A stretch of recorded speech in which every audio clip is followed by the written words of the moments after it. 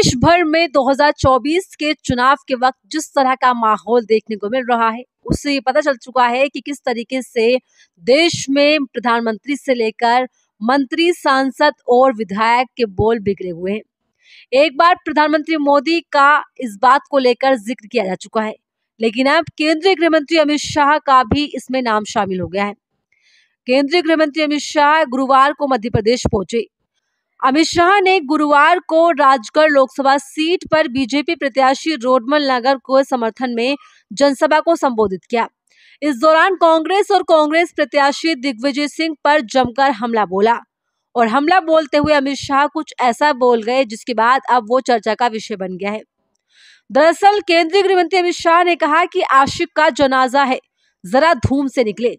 सम्मान जैसी लीड से हराकर उनकी विदाई करना, उन्हें घर पर बिठाने का काम राजगढ़ वाले करे। उन्होंने कहा कि दिग्गी राजा की सलाह से अपने घोषणा पत्र में कहा है कि कांग्रेस सरकार आएगी तो मुस्लिम पर्सनल लॉ लाएँगे। इनकी सरकार तो आनी नहीं, मगर मैं फिर भी आपसे पूछता हूँ कि क्या शरिया कानून से देश चलना चाहिए? ये कांग्रेस पार्टी पर्सनल लॉ की बात करके पिछले दरवाजे से देश में शरिया कानून लाने की बात करती है। इसके बाद अमित शाह ने कहा कि दिग्विजय सिंह ने भगवा आतंकवाद शब्द कहा था। ये पाकिस्तानी आतंकवादी हाफिज सईद को कहकर बुलाते हैं। जाकिर नाइक को गले लगाते हैं, अफजल गुरु की फांसी का विरोध करते हैं और पीएफआई पर बैन का भी विरोध करते हैं। ये बहुत बार आए और बहुत बार गए, अब समय आ गया है इनको परमानेंट विदाई देने का।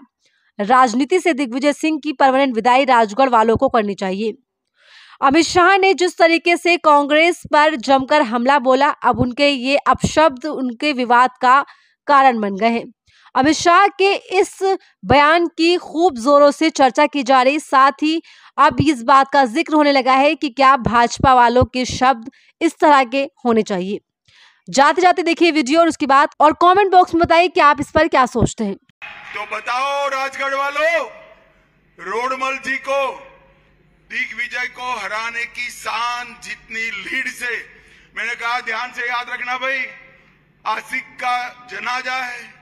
बड़ा आदमी है, जरा धूमधाम से निकालना, उनकी शान जैसी लीड से हराना, समझ में आ रहा है? आ रहा है। गत चुनाव से बड़ी लीड से रोडमल जी को जिताओगे। मोदी जी